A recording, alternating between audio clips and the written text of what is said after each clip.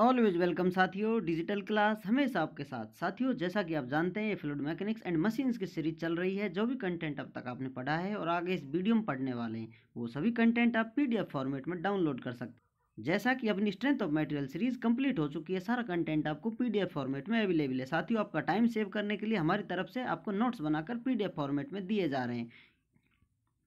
इससे पिछली वीडियो में साथियों हमने जाना था किस प्रकार कोई बॉडी सिंक कर जाती है, अर्थात डूब जाती है। क्या कंडीशन होती है उसकी साथियों? किस प्रकार कोई बॉडी फ्लूड में डूबती है और किस प्रकार फ्लोट करती है साथियों? और कौन सी बॉडी सस्पेंडेड बॉडीज कहलाती हैं या न्यूट्रली वॉइंट बॉडीज कहलाती हैं? इस प्रकार ये सारी कंडीशन हम पिछली वीडियोज़ में पढ़ चुके थे साथियों।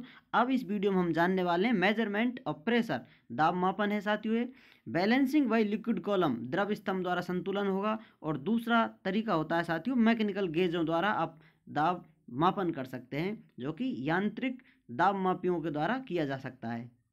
हम साथियों, जो डिवाइस हैं, उनसे मेज़रमेंट लेंगे। साथ ही इस प्रकार कोई पाइप है? इस प्रकार ये पीछे की तरफ़ आप देख सकते हैं इसको। इस प्रकार कहीं पाइप जा रहा है। इस प्रकार तो इसमें कितना प्रेशर है साथियों? ये जानने के लिए हम इसमें कुछ डिवाइसों का इस्तेमाल कर कर पता लगाते हैं। इस पाइप में कितना प्रेशर है साथियों? इस प्रकार, इस पाइप में जो अपने मोनोमीटर हैं, उनको इस प्रकार जोड़ा जाएगा साथियों। इस प्रकार कोई डिवाइस लगाई जाएगी, इस प्रकार कहीं भी आप लगाएँगे तो उसमें साथियों फ्लूड बढ़ जाता है ऊपर, जितना प्रेशर है साथियों, किसी स्टेटस पर आकर वो बैलेंस हो जाता है। अब ये जो यूनिट होती है साथियों, जितना अपन इसमें मेज़रमेंट लेते हैं, वो हमें बताती है कि इसमें पाइप में कितना प्रेशर है साथियों। इस सीरीज़ में अपन मेज़रमेंट ऑफ़ प्रेशर साथियों, बैलेंसिंग करेंगे भाई लिक्विड कॉलम, जो लिक्विड ऊपर चढ़ता है साथियों जो मोनोमीटर इस्तेमाल करेंगे हम, उनसे फुल डिटेल में पढ़ेंगे सारे मोनोमीटर किस प्रकार के होते हैं साथियों, कितनी टाइप होती है उनकी, किस प्रकार उनका उपयोग किया जाता है। अब इसमें अपन जान लेते हैं साथियों, डिवाइसेज, युक्ति कहते हैं जिसे आप उपकरण कह सकते हैं और प्रेशर मेज़रमेंट इनमें आता है साथियों, मोनोमीटर। इस प्रकार आप देख सकते हैं, ये मैनोमीटर है, इसको आप हिंदी में कहेंगे नली दाब मापी।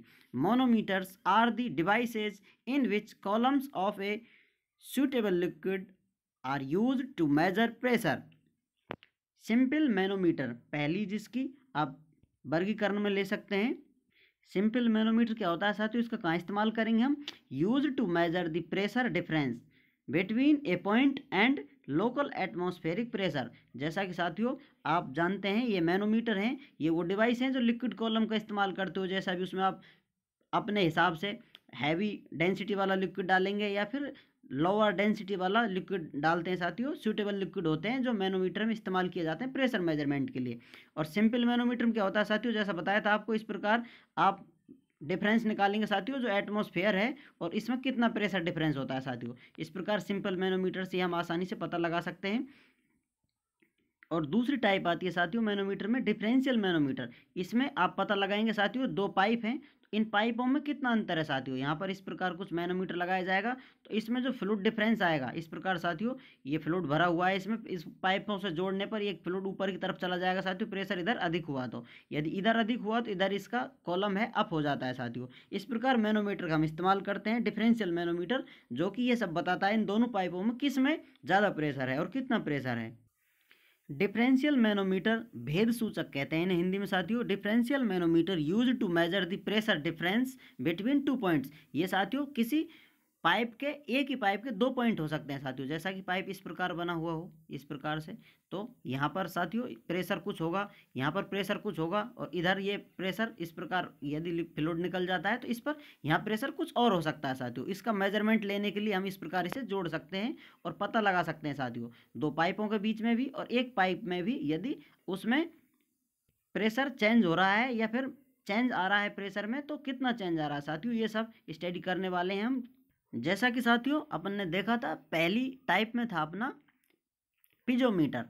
इस प्रकार साथियों, पिजोमीटर क्या होता है? एक सिंपल ट्यूब होती है ग्लास की। इस प्रकार आप देख सकते हैं, इसको इस प्रकार आप बना सकते हैं।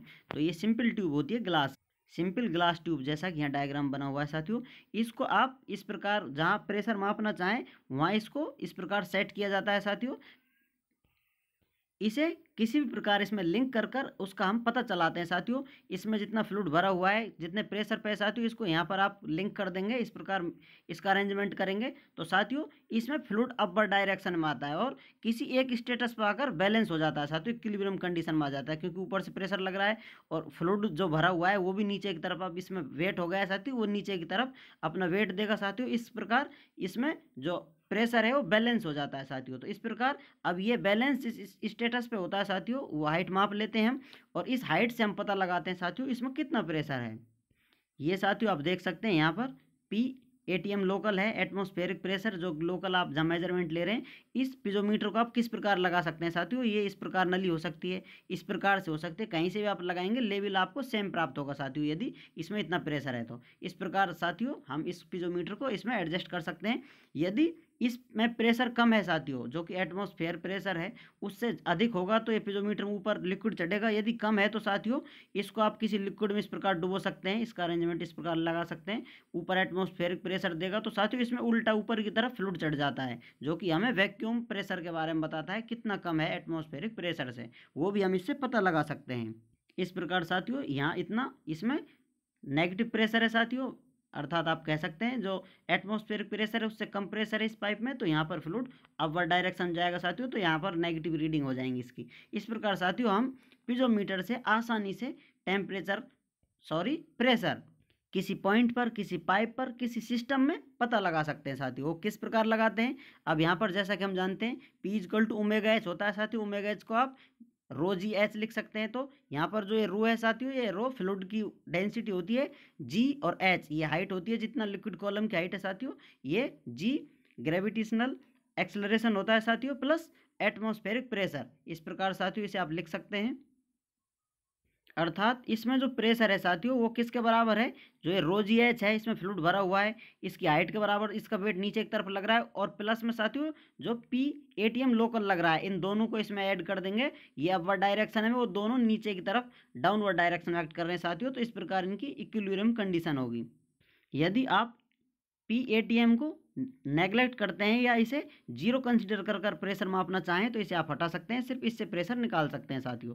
यहाँ आप देख सकते हैं इस मेथड से पी जो कि प्रेशर इंटेंसिटी हो होती है is equal to omega H या इसे आप लिख सकते हैं रोजी एच इस प्रकार लिख सकते हैं साथियों। यहाँ पर एच क्या है? प्रेशर हेड होता है जो साथियों, इसको आप प्लस माइनस में लिख सकते हैं। प्लस आता है तो अपवर्ड डायरेक्शन में इसमें कॉलम में फ्लूट जाएगा। यदि नेगेटिव प्रेशर है तो इसमें डाउनवर्ड डायरेक्शन में इस प्रकार आप इसे मेजर कर सकते हैं साथियों। यहाँ पर हम पढ़ने वाले हैं इस प्रकार का मेथड डिटेल में। इस प्रकार साथियों, इसकी आप दोनों तरफ़ की पॉजिटिव नेगेटिव हाइट मेज़रमेंट ले सकते हैं, जो कि प्रेशर हेड के रूप में इस प्रकार आप इसे इस्तेमाल कर सकते हैं पी डिवाइडेड बाई ओमेगा इसे आप इस प्रकार लिख सकते हैं साथियों P A T M local को इधर ले आएँगे। तो ये साथियों P minus P A T M local हो जाएगा is equal to rho F G H. अब इस इसको साथियों आप गेज प्रेशर कहते हैं क्योंकि जो प्रेशर एटमॉस्फेरिक प्रेशर से अधिक है उसे ही का ये मेज़रमेंट ले रहा है तो इसे आप गेज प्रेशर कहेंगे। ये गेज प्रेशर क्या होता है? वैक्यूम प्रेशर क्या होता है साथियों? एटमॉस्फेरिक प्रेशर कहाँ एक्ट करता है? ये सारी डिटेल में हम कवर कर चुके हैं पिछली वीडियोज़। आप देखें यदि आप नहीं देखी हैं और यदि आपको आता है तो आप यहीं से कंटिन्यू कर सकते हैं। साथियों ये gauge pressure is equal to हो जाता है फिर इस प्रकार और इसका प्रेशर हेड निकालना चाहें तो आप इसे इस प्रकार लिख सकते हैं। P G divided by rho G. H इस प्रकार साथियों, हम इस पाइप में, इस पॉइंट पर इसका मेज़रमेंट ले सकते हैं। इसमें कितना प्रेशर है साथियों?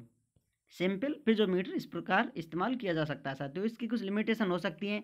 इसकी हाइट बहुत ज़्यादा नहीं रख सकते, बहुत ज़्यादा प्रेशर हो। इस प्रकार साथियों